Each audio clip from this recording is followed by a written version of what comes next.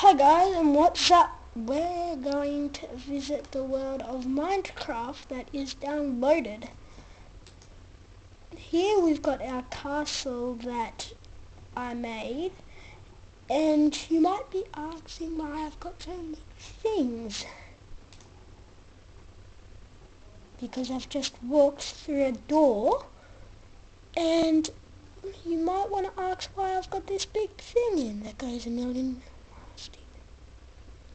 so yeah, I'm having some fun time, just watching around.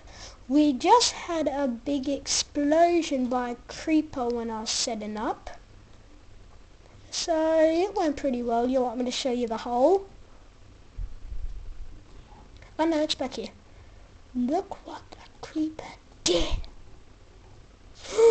it's getting dark. It's getting dark.